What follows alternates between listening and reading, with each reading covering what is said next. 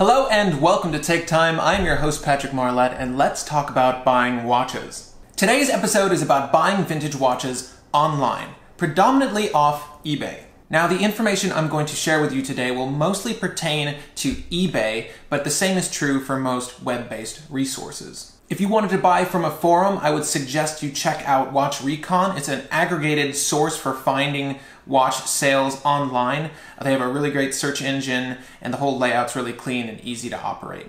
Not a sponsor. Now, I wanted to start this guide with an acronym you see quite often when you're looking to purchase a vintage watch, and that is NOS. NOS stands for New Old Stock, and all too commonly it refers to something that is definitely not NOS. In order for an item to be NOS, it has to have never been used.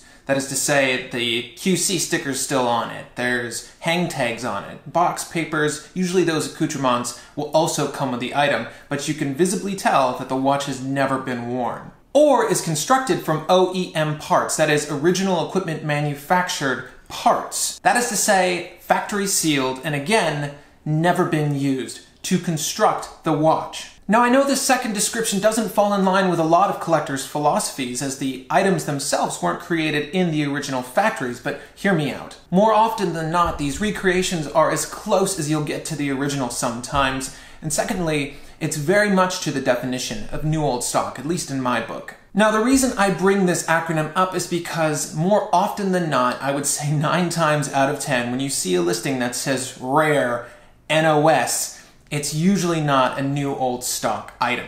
And the folks selling it to you are upcharging you for this distinction. So be extremely wary when you see a listing that says NOS or new old stock. I would advise you go to a site you trust with reference images and check the case lines. Make sure that all of the bits and pieces that come with the product are accurate to how it was originally packaged. And sometimes it's hard to secure that for something that's 30 or 40 plus years old, but there are sources out there with detailed pictures that can help you depending on the watch in question. Now, do not get overcharged for something that's new old stock and don't buy it unless you're 100% certain of its authenticity. Now, to piggyback on what I was just talking about regarding new old stock, something that's been untouched, never worn, in my personal opinion, I value an item that looks like it's definitely been worn. It is almost always better to find the watch that is beaten, dirty, and definitely been worn. In all likelihood, that's the item you want, the one that doesn't look overtreated, because I bet you that one hasn't been polished, hasn't been rebrushed, or hasn't been doctored up to look brand new. Now, this is not to say that you can't find a flawless example of a watch that's 40 plus years old. It's happened. It's happened to me, and it's fantastic when it does, but those listings are one in every 10,000th of a listing. Again, before you make the buy, I suggest you cite references of the model you have in question. And there's a group that I generally turn to for fine examples of timepieces, and that's Worn and Wound. They do great reviews on vintage watches often, and they take their own images of the samples they have in.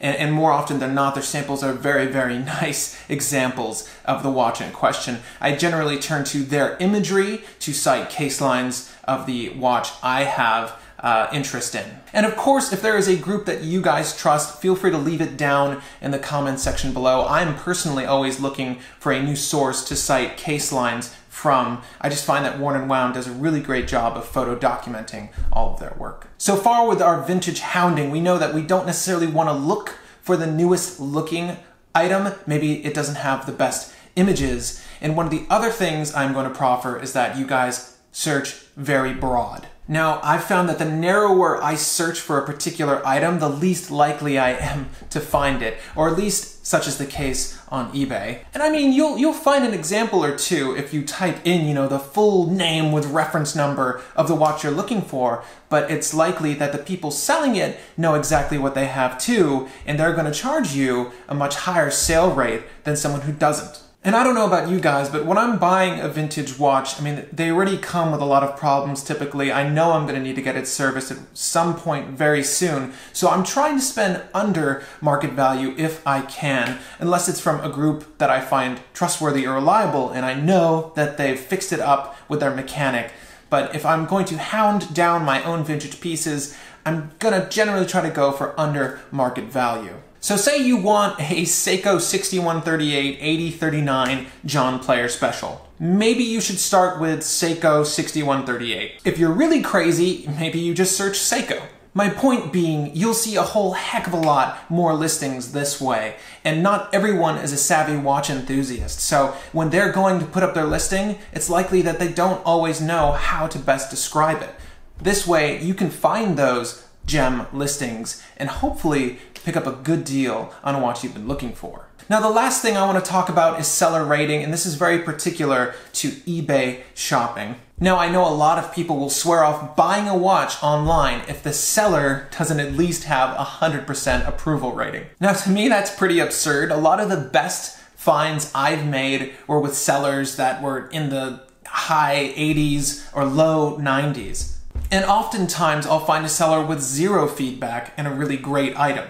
If you are going to buy from someone who doesn't have 100% approval rating, there are two things I suggest you do. You need to contact them, check out their other listings, and verify the legitimacy of their offerings. You know, you shouldn't write off a great listing because of seller reviews. Secondly, there are a lot of bitter people out there who would leave a sour review on someone's account just to bring down their approval rating. With eBay, it's very easy to check someone's feedback to see where that seller might have went wrong. Personally, I try to contact the individual I'm buying from to see if they're responsive and reasonable. And more often than not, you know, there's another human being at the end of the line, and they generally are. If that person doesn't respond in a way you like, then of course step away. But if they're courteous and earnest about what they're selling, I think you're in good hands. So I actually just bought a, a new old stock, new old stock Seiko Bellmatic, and I got it for around $240. Now, while it wasn't new old stock, I noticed the the individual's rating was around like 96.7%, something crazy like that. And they own a thrift store out in Missouri. So I, I, got to the little messenger board and I started talking to that person over on eBay, and they were very upfront about the item. They, they had no clue what they had. I think what they did was look at other listings for similar watches and put a title according to what they found and a price that they thought was fair. So I wound up spending around $240 for a great condition Seiko Bellmatic with the original bracelet, all the links, box, outer box, manual, and a guarantee card from 1975, I think is what model year mine is. I did not let that seller's feedback be a deterrent. He was very prompt with his responses and he was candid about not knowing too much about the watch, which is great for me because I think I got a pretty good deal. Now, every vintage reseller buys this way. Trust me. And you know what? Maybe they do take it to a mechanic and get the watch running precisely as it should.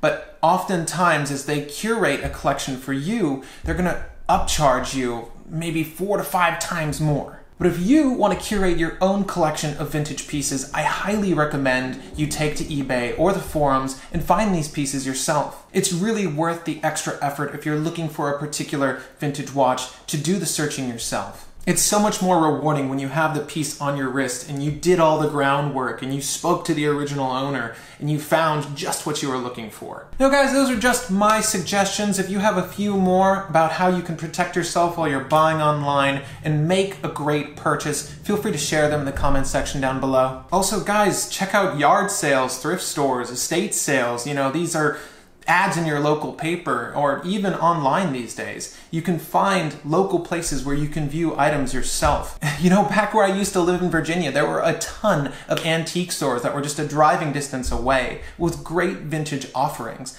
And a lot of these people don't want to make, you know, astronomical loads of cash off you. They just want to make or break a little more than even.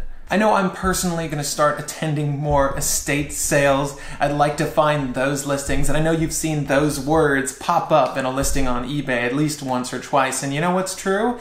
They probably did find those items at estate sales. So why not let that person be you? Guys, I'd love to hear about any vintage finds you found when you went out antiquing or any really great purchases you've made online in the comments down below. Let's start that conversation. And if you like this video, feel free to hit that like button. If you have any friends, forums, or groups that you feel would benefit off of this video, feel free to share it with them. Again, my name is Patrick Marlett, and thank you for the time.